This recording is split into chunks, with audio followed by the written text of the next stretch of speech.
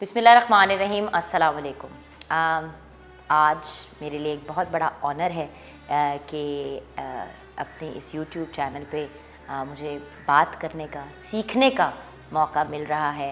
आ, एक ऐसी पर्सनालिटी से जो बहुत बड़े टीचर हैं बहुत बड़े गाइड हैं हमारे मुल्क के बल्कि इंटरनेशनली रनाउन इस्लामिक स्कॉलर हैं। And not just an Islamic scholar he is a great mind in himself मैं बात कर रही हूँ प्रोफेसर डॉक्टर मोहम्मद साद सिद्दीकी की। आज उन्होंने हमें ज्वाइन किया है और आज फ़र्स्ट रमज़ान मुबारक है। तो डबल डबल मुबारकबाद है आज। अब आप लोगों के लिए एज व्यूअर्स एंड मेरे लिए एज अ होस्ट अस्सलाम वालेकुम। क्या हाल है? खैरियत से हैं आप? बिल्कुल ठीक ठाक अल्लाह का बहुत शुक्र है रमज़ान मुबारक। क्योंकि आज फ़र्स्ट रमज़ान मुबारक है तो मेरे ख्याल से सबसे इंपॉर्टेंट सबसे ज़रूरी चीज़ जिस पर गाइडेंस लेनी ज़रूरी है वो ये है कि डॉक्टर साहब माह रमज़ान को कैसे गुजारना चाहिए?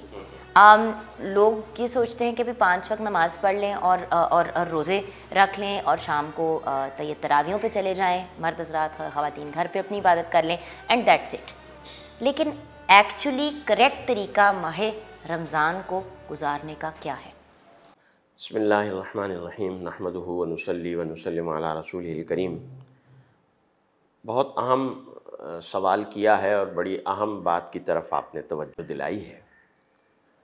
देखिए रमज़ानमबारक बड़ी बरकतों और बड़ी रहमतों का महीना है और एक ख़ास इबादत हमारे लिए इसमें मुतन की गई और वो कुरान हकीम ने इरशाद फरमाया कि फ़मन शहीद अमिन को मुशाहरा फलियसुम हूँ कि तुम में से जो इस महीने को पाए, उसे चाहिए कि वो रोज़े रखे।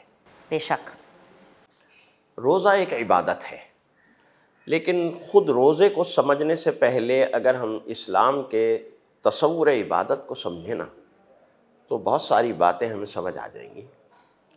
और वो तस्वूर इबादत इस्लाम के तस्वुर इबादत की जो सबसे बड़ी और सबसे अहम खसूसियत है वो ये है कि इसकी इबादत और माशरत दोनों चीज़ें साथ चलती हैं। इबादत और माशरत। सोसाइटी सोसाइटी यानी हमारे सोशल दीन और दुनिया।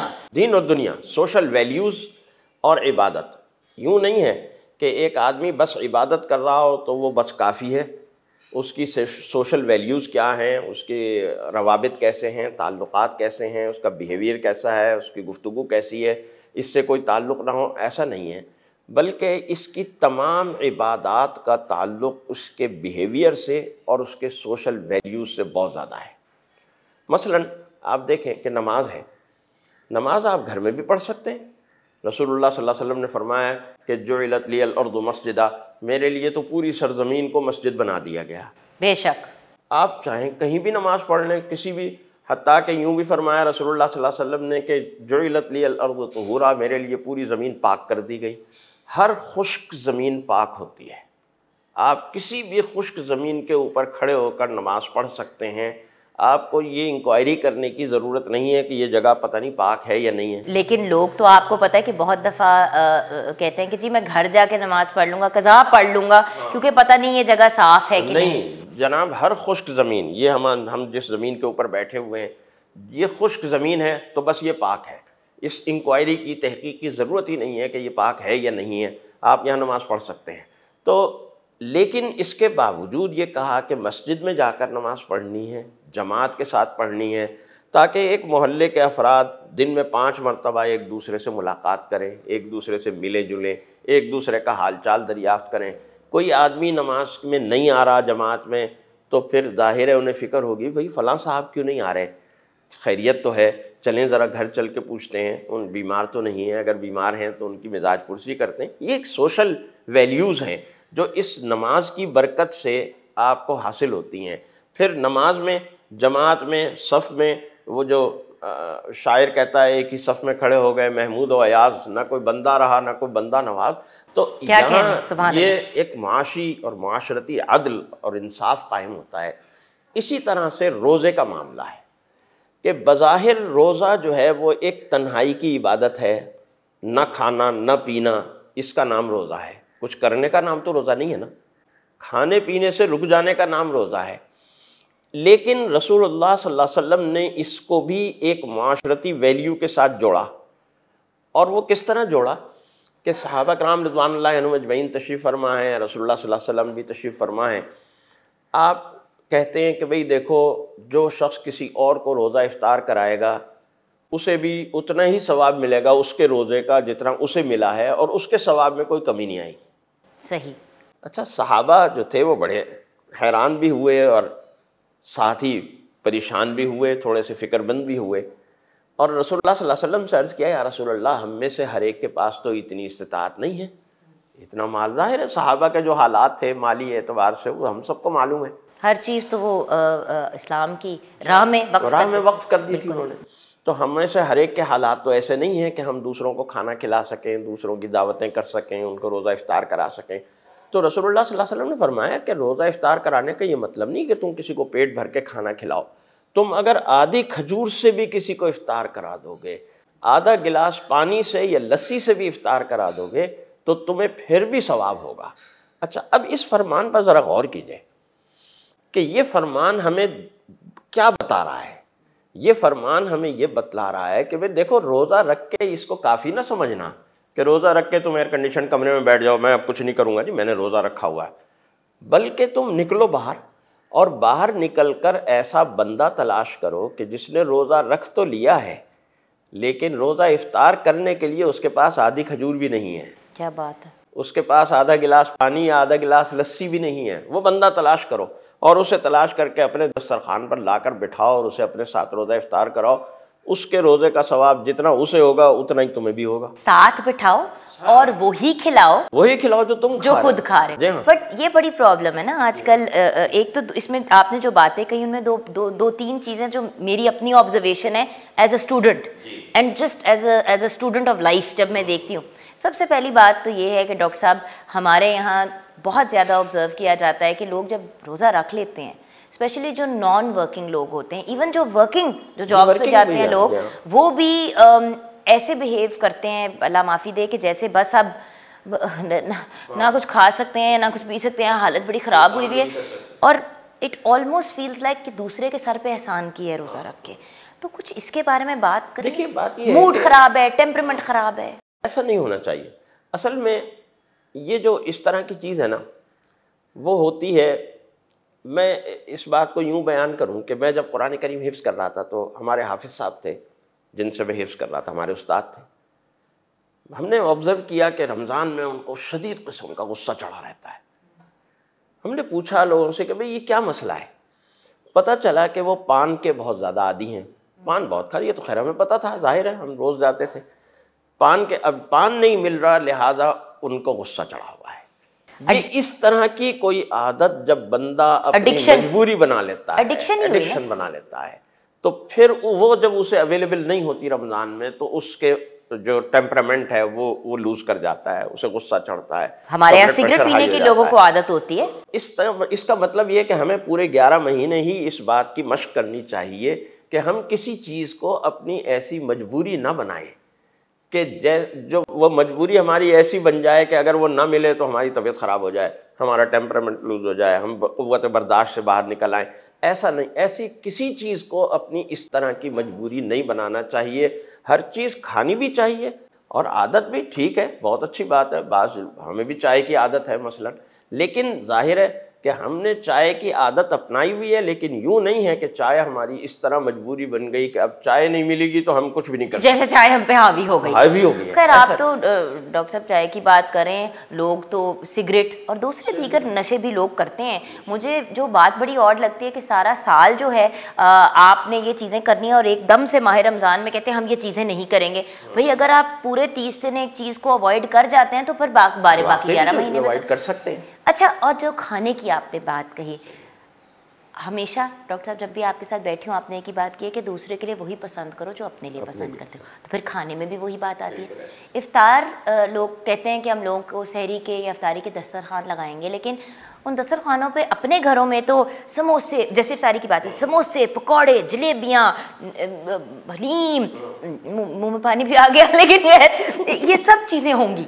लेकिन जब किसी और के लिए दस्तरखान बिछाएँगे तो कोरमा जिसमें चार बोटियाँ होंगी कि मतलब ज़्यादा बोटियाँ डालेंगे आई एम सॉरी गलत एक, एक बड़ी सख्त बात कर रही हूँ इसके बारे में आप क्या कहेंगे? देखिए बात यह है कि कुरान हकीम जहाँ जब कोई इस तरह की बात करता है कि आप खिलाएँ दूसरों को।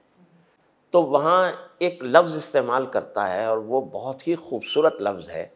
मिन अवसती मातमून मिन अहलीकुम। कि जब तुम किसी गरीब को खाना खिला रहे हो, चाहे किसी भी मद में खिला रहे हो, यानी कोई कफ़ारा अदा कर रहे हो या कोई और मामला है, कुछ भी है, ये वैसे ही नफली तौर पर खिला रहे हो तो मिन औसती माँ तो तयमूना वो एवरेज खाना खिलाओ जो एवरेज खाना तुम अपने घर वालों को खिलाते हो। क्या बात है।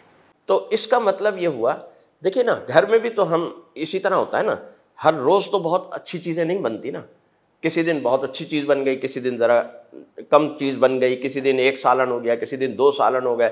उस सारे उससे एक एवरेज निकलता है कि एक वक्त के खाने का आपका एवरेज क्या वो होता है। वो एवरेज कम अज़ कम ज़रूर होना चाहिए। सही। जो भी आप गरीब को खिला रहे हैं दस्तरखान है तो वो एवरेज जो आपकी इफ्तारी का एवरेज बनता है वो एवरेज ज़रूर होना चाहिए। उस एवरेज से लो उस एवरेज से बेशक बिल्कुल वही चीज़ ना हो जो आप उस दिन इसलिए कि इफ्तार में भी यही होता है। कि किसी दिन बहुत सारी चीज़ें बन जाती हैं। कभी एक दो बन कभी एक दो ही चीज़ें बनती हैं। तो उससे एक एवरेज निकलता है। उस एवरेज को मद्देनज़र रखना चाहिए। क्योंकि आ, वो मैं देख रही थी ना पिछले कुछ दिन जो लोग इफ्तार के डब्बे बना के लोगों को देते हैं बहुत अच्छी बात है। मुझे बहुत अच्छा लगता है कि अच्छा लोग अपने घरों के बाहर भी इस तरह करते हैं कि भाई अगर बॉक्सेस वगैरह दे दिए तो लोगों के लिए ईजी हो गया साफ़ सुथरा अंदाज भी हो गया। लेकिन दुख इस बात का होता है कि अच्छा क्या क्या होगा डब्बे में? अच्छा एक सौ चालीस का बन रहा है डब्बा। अच्छा किसी तरह उसको सौ रुपये का कर दें। अच्छा ऐसा करें कि केला निकाल दें और तीन की जगह एक खजूर डाल दें। तो ये चीज़ें थोड़ी चुभती हैं। लेकिन खैर जब आप जैसे लोग हैं हमें गाइड करने के लिए तो अच्छा दें, सुथरा दें, वही दूसरों के ये कि ये एक अच्छा रुझान है। कराची में ये रुझान तो बहुत पहले से है। लेकिन अल्हम्दुलिल्लाह, अब पिछले दो तीन सालों से लाहौर में भी ये रुझान काफ़ी ज़्यादा है। दो साल पहले जो रमज़ान मुबारक था, यानी 2018 में मैं एक चैनल के ऊपर इफ्तार से पहले जाया करता था, तकरीबन रोज़ तो नहीं, लेकिन हफ़्ते में एक दो दिन ज़रूर हो जाते थे। तो मैं वहाँ से चलता था और अपने घर आता था, यूनिवर्सिटी, कोई तकरीबन पाँच छः किलोमीटर, सात किलोमीटर का ये फ़ासला होगा। और मैं ये ऑब्ज़र्व करता था, चूँकि जब मैं वहाँ से निकलता था अपने घर आने के लिए तो इफ़ार में कोई आधा घंटा के करीब बाकी होता था। तो कम अज़ कम चार या पाँच जगह मुझे मिलती थी ऐसी कि जहाँ लोग बैठे हुए हैं, दस्तरखान लगा हुआ है और इफ़ार कर रहे हैं। बड़ी खुशी होती है कि देखो, गरीब का एक दर्द, एक दुख दिल में लोगों के है। और ये दर्द और ये दुख अल्हम्दुलिल्लाह हमारे लोगों में, हमारे पाकिस्तानी शहरीों में अल्हम्दुलिल्लाह बहुत अरबों में भी है। अरबों में भी आप देखें, अगर मक्का मुकर्रमा और मदीना मुनवरा अब तो ये इस कोरोना की वजह से सब कुछ बंद हुआ हुआ है।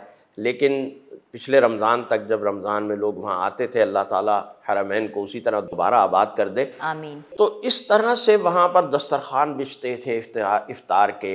और ऐसे यानी वो मशाइ खड़े हैं अरब लोग अरब शेख बड़े बड़े पैसे वाले बड़े बड़े दौलतमंद लोग और उनके एजेंट्स उनके मुलाजमीन जो हैं वो लोगों को घेर घेर के ला रहे हैं। जैसे मतलब हम जाते हैं ना। कि हमारे पास है हाँ, हमारे लारी अड्डे जाते हैं ना बस वाले बैगन वाले हमें खींचते हैं। उधर तो मांग रहे होते हैं चीज़ें यहाँ पे दे रहे यहाँ दे रहे होते हैं। तो एक बड़ा अजीब गरीब मंज़र होता है और अल्हम्दुलिल्लाह अब ये मंज़र पाकिस्तान में भी नज़र आने लगा है लाहौर में भी हमारे लाहौर में नज़र आने लगा है। और ये बड़ी अच्छी बात है और वो वही बात जो मैं शुरू में अर्ज़ कर रहा था कि जो रोज़े का माशरती पहलू है उसे उजागर करने की बहुत ज़रूरत है। डॉक्टर साहब बहुत बहुत शुक्रिया इन हमारी अगली मुलाकात और हमारी अगली वीडियो में ये जो आपने एक बात टच अपॉन की आ, इस पर भी बात करनी बहुत ज़रूरी है कि व्यूअर्स हम कैसे पॉजिटिव रहें? आ, ये जो एक पेंडेमिक चल रहा है आ, ये जो एक वबा फैली हुई है इसमें अपने आप को एक मजहबी पॉइंट ऑफ़ व्यू से अपने सोल को अपनी रूह को कैसे पॉजिटिव लेके चलें? क्योंकि इस बार रमज़ान मुबारक की वो वाली एक्साइटमेंट और खुशी शायद लोगों को नहीं है, जितनी यूजुअली होती है, वैसे तो बहुत ज़्यादा खुशी है। क्योंकि हम ये साथ मिल के नहीं मना सकेंगे इन्जॉय कर सकेंगे इस माह मुबारक को। तो इस पर हम डिस्कशन करेंगे next time stay tuned to my YouTube channel और हमारे जो बहुत ही प्यारे प्रोफेसर डॉक्टर मोहम्मद साद सदीकी साहब हैं, उनको आपने दुआओं में याद रखना है। इन अगली वीडियो में मुलाकात होगी।